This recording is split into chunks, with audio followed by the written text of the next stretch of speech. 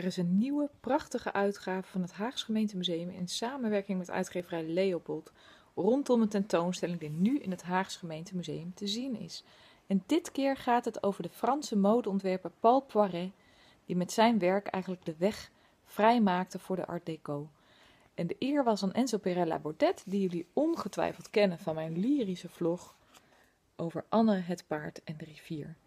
Met zijn prachtige, ambachtelijke aquarelillustraties heeft hij dit boek echt tot een waar feestje gemaakt. Wat een explosie aan kleur, vorm, sierlijkheid. Het is fantastisch.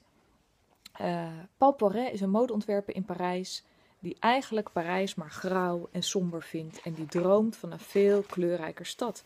Hij dwaalt door Parijs om paraplu's weg te brengen en hij droomt eigenlijk van een leven als modeontwerper. Maar met dromen alleen kom je er niet. Dus hij moet hard aan de bak en hij gaat aan het werk en hij krijgt uiteindelijk de mogelijkheid om jurken te ontwerpen voor een andere ontwerper.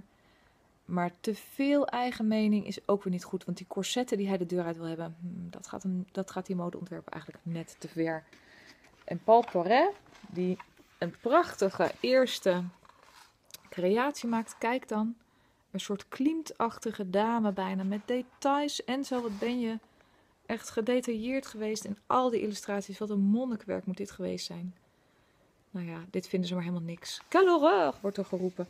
Dus kortom, Paul Poiret die gaat totaal gefrustreerd zijn eigen weg. En hij komt in een land vol vreemde geuren en kleuren. En hij denkt, ik heb gevonden wat ik zocht. Hij is in de Oriënt en zijn hoofd vult zich met dromen van de Oriënt. En dat is ook waar de titel van het boek aan ontleend is.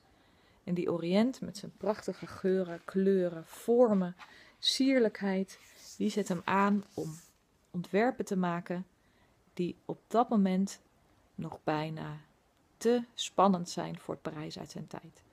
En toch zet hij door. Hij nodigt iedereen die iemand is uit om zijn uh, modeshow te komen bijwonen. En kortom, hij maakt het. De modeshow wordt een feest van duizend en twee nachten. De gasten zijn verrukt. En terecht. Want wat hij maakt, dat baant dus, zoals ik al zei, de weg vrij voor de Art Deco. En is nog steeds uh, in het Haags Gemeentemuseum dus nu te zien.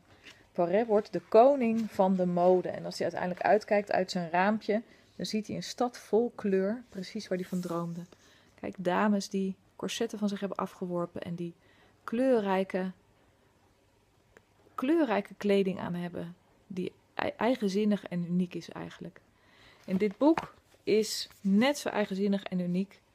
Het is opnieuw een uitgave die je met vrij jonge kinderen al kunt bekijken. Of het nou naar aanleiding van de tentoonstelling is in het Haagse Gemeentemuseum, of dat je wilt praten over mode of over kunst in zijn algemeenheid, of dat je gewoon houdt van prachtige platen en uh, wil laten zien dat als je maar hard werkt, je je droom kunt verwezenlijken. Het is een. Uh, nou ja, ik kan er niet over uit. Ik was al verliefd op Anne, het paard en de rivier. Maar dit is ook een boek om te hebben.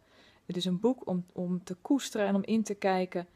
En uh, om keer op keer. Ehm, ja, erin te verdwalen. In al die kleuren en al die vormen die je ziet. En zo, je hebt geweldig werk afgeleverd. Wat een uitgave. Een uitgeverij Leopold, opnieuw chapeau. Wat een fantastische reeks is dit. En ik hoop dat hij de weg vindt naar een heel breed publiek. Want dat is totaal terecht en gegund. Bye!